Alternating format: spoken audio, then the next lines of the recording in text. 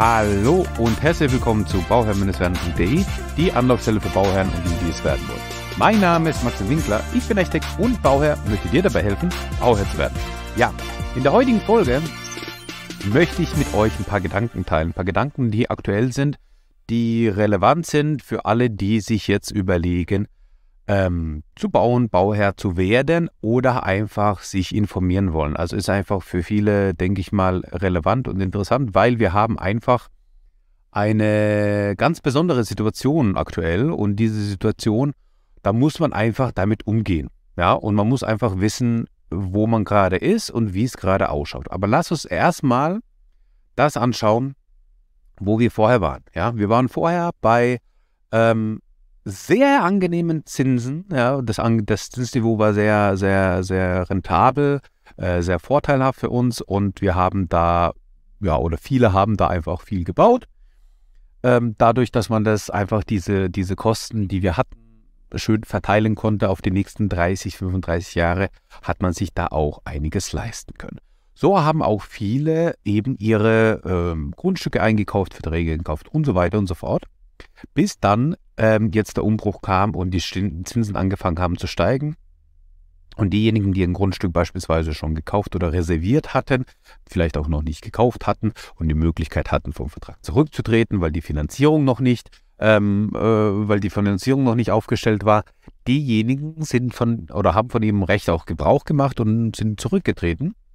Und ähm, Warum sind sie zurückgetreten? Naja, weil die Zinsen jetzt von auf dem, vom Niveau 1, 1,5 Prozent auf 3 bis 4 Prozent Zinsen gewandert sind.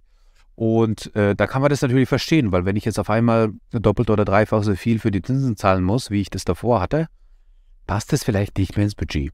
Und genau das ist der Punkt, worüber wir jetzt heute sprechen oder wo ich meine Gedanken einfach mal mit euch teilen wollte, wie man damit umgehen kann und was für Gedankengänge es hierzu gibt, um dem Ganzen gerecht zu werden, vielleicht auch, ja. Also, man muss einfach überlegen, ähm, wie man, wie man äh, dem entgegenspielen kann. Und dann sind einfach, ähm, was ich gelernt habe, sind einfach, dass Kreativität oder ähm, auch Flexibilität oftmals der Schlüssel ist, um Erfolg zu haben. Ja? Wenn man sich überlegt, das Standardhaus, was ich so hatte, das Standard-Einfamilienhaus auf einem Grundstück von 450, 500 Quadratmeter, ähm, wo ich dann mein 130 bis 150 Quadratmeter Wohnfläche Haus hinstellen möchte, mit Keller und ähm, PV-Anlage auf dem Dach und so weiter und so fort, ähm, und der Garage und so weiter, muss ich jetzt vielleicht überlegen, weil ich mir das nicht leisten kann, ja, oder auch nicht leisten will, äh, muss ich mir überlegen, wie ich damit umgehen kann. Diejenigen, die natürlich ihr Bargeld unter dem Kopfkissen haben, die haben damit keine Probleme, aber die meisten von uns, äh, so 99 Prozent von uns, haben das eben nicht und ähm, sind einfach auf die Finanzierung der Bank angewiesen. Und dann muss man einfach kreativ werden. Ähm, und das meine ich genauso, dass man sich dann einfach vielleicht ein paar Grundsätze stellen muss, die man vorher, ohne lang darüber nachzudenken, einfach weggewischt hat und gesagt hat, nein, das kommt nicht in Frage. Ich möchte so leben. Doppelpunkt. Ein Familienhaus auf der grünen Fläche. Und auf einmal muss man vielleicht sagen, ja, lass uns doch mal die Alternativen anschauen. Und was sind die Alternativen? Also, wir haben zu einem, die einfachste Möglichkeit ist es, ein Bestandshaus wieder ähm, auf Vordermann zu bekommen.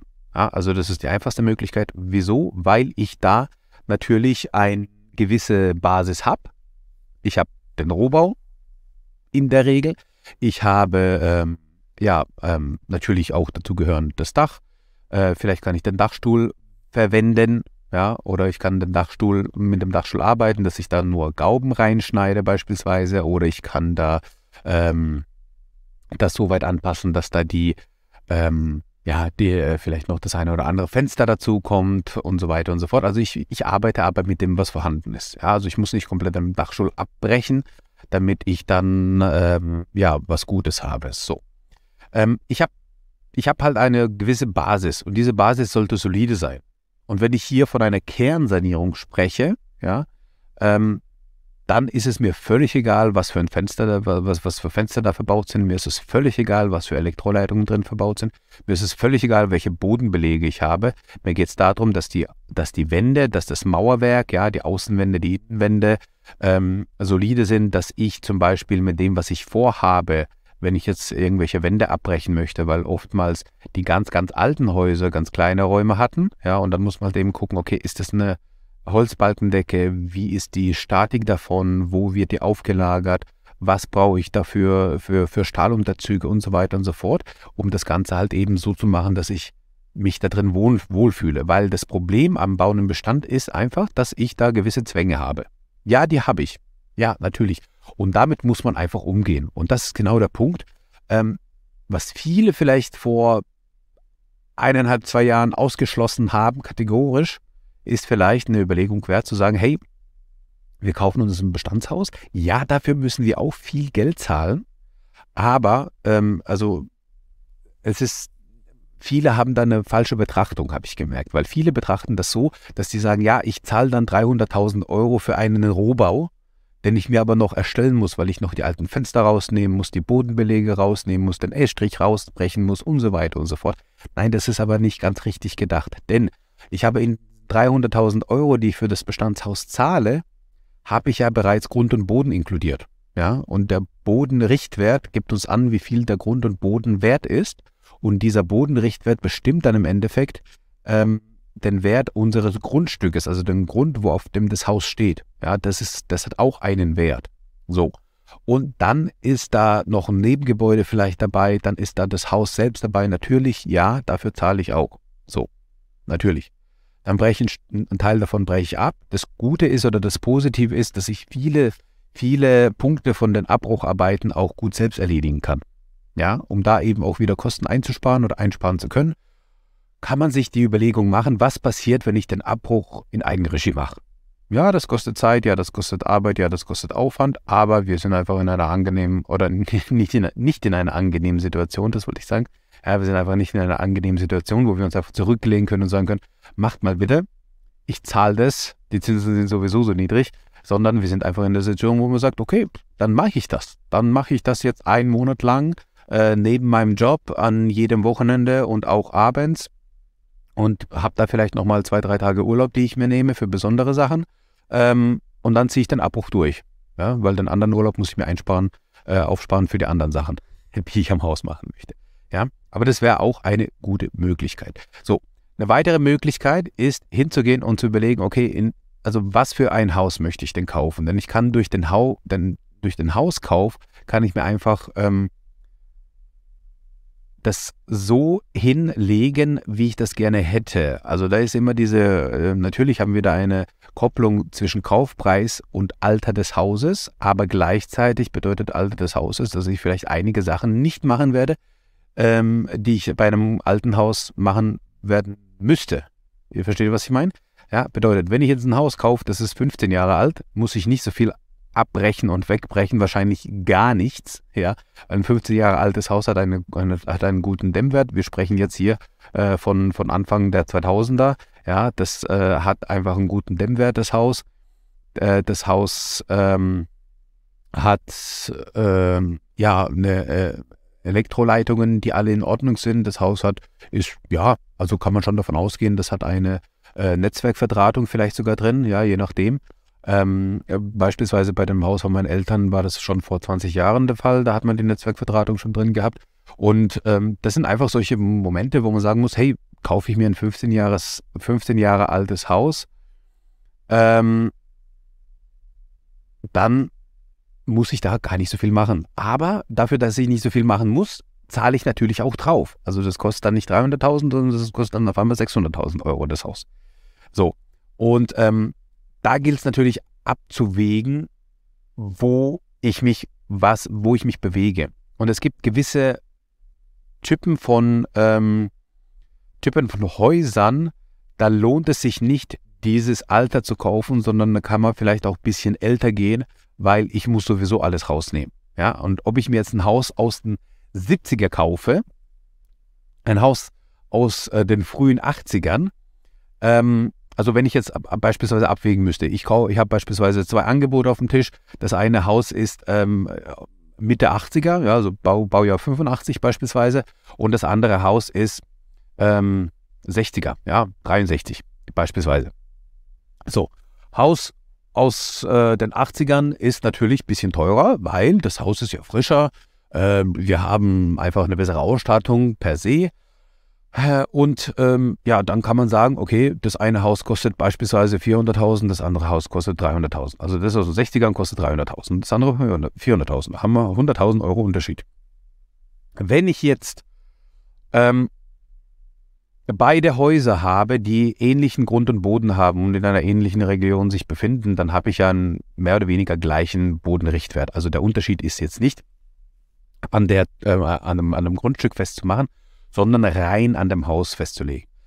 Dann würde ich mich, wenn die beiden Häuser gleichwertig sind von der Raumaufteilung, von dem, was man vorhat, von dem, was man vielleicht anbauen möchte oder ausbauen möchte und so weiter und so fort. Ja, also ich habe ähnliche Voraussetzungen. Kein Haus ist gleich, aber ich habe beispielsweise auf, äh, bei beiden Häusern äh, kann ich durch einen kleinen Anbau die Wohnfläche so erweitern, wie ich die möchte. Oder vielleicht auch äh, bei beiden Häusern brauche ich keinen Anbau und ich habe dann durch ein, äh, eine Wand, die ich entferne, einfach den Wohnraum, den ich äh, gerne haben möchte. Ja, also gleiche Voraussetzung. Dann würde ich natürlich das Haus aus den 60er nehmen. Na, warum? Weil ich mir da 100.000 Euro im Einkauf sparen kann und, die, und, und ich sowieso ich sowieso bei dem Haus aus den 80ern und bei dem Haus aus den 60ern, also bei beiden Häusern, überall den, e also den Bodenbelag wegnehmen muss, den E-Strich wegnehmen muss, die Elektroleitung wegnehmen muss, ähm, ich muss die Wasser-Abwasserleitung äh, erneuern und so weiter und so fort. Also das heißt, die Grundarbeit ist überall gleich, nur habe ich bei dem einen Haus einen höheren Einstiegswert als bei dem anderen, weil das einfach ein bisschen, ähm, bisschen jünger ist. Jetzt muss ich mir aber so überlegen, ich sobald ich das Haus anfasse und sobald ich das Haus dann bearbeite, dann habe ich ähm, einfach, äh, ich schaffe einen Neubauwert. Ja? Und dieser Neubauwert ist dann Stand 2023, 2024, je nachdem, wann ich fertig werde. Das ist dann das neue fiktive Baujahr von diesem Haus, weil ich das Kern saniert habe. Und diese Kernsanierung bringt natürlich auch was für die Finanzierung, also für den für den Werterhalt oder für den Wert des Hauses, weil ich damit auch wertsteigende Maßnahmen habe und ich das fiktive Baujahr jetzt auf neu setze. Und für die Bank ist es natürlich auch interessant und relevant, weil die Bank sagt sich dann, okay, was machst du denn an dem Haus? Und wenn du sagst, ja, ich habe vor, ähm, insgesamt beispielsweise ein, also ich habe ein Budget und ähm, das Budget liegt bei, wir, haben, wir waren jetzt beim Beispiel 300.000 und 400.000 und jetzt habe ich ein Budget von ähm, von äh, 550.000 Euro beispielsweise. Das Budget, was ich jetzt für das Gesamt, äh, als Gesamt aufwenden möchte. So, und dann habe ich einfach bei 550.000 Euro habe ich bei dem einen 150.000 Euro für die Sanierung und bei dem anderen 250.000 Euro für die Sanierung. Und das ist natürlich ein Unterschied, ja, ob ich jetzt äh, reine sozusagen Kosten für, einen, für die Erschaffung eines Neubaus im Endeffekt 150 oder 250.000 Euro ausgebe. Ja, so muss man das betrachten. für die Bank ist es natürlich auch eine positive Betrachtung, weil würde jetzt bedeuten, wenn ich es aus, aus den 80ern nehmen würde, hätte ich gar nicht die Möglichkeit, eine Kernsanierung zu machen, weil mir fehlen nochmal 100.000 Euro, um das Ganze so zu machen, dass es passt. Ja, und genau das sind diese Gedankengänge, die man sich da, äh, auf die man jetzt also sich einlassen muss. Man muss einfach prüfen, in welchem Baujahr befindet sich das Haus, in welchem Zustand befindet sich das Haus, und vielleicht, und das wäre auch ein Tipp, ähm, das, das sage ich immer wieder, beauftragt einen Architekten, schaut, dass ihr mit einem Architekten bereits auf die Besichtigung geht. Ja, er hat einen Stundensatz von 100, 150 Euro, je nachdem, ja, ähm, plus Anfahrtskosten.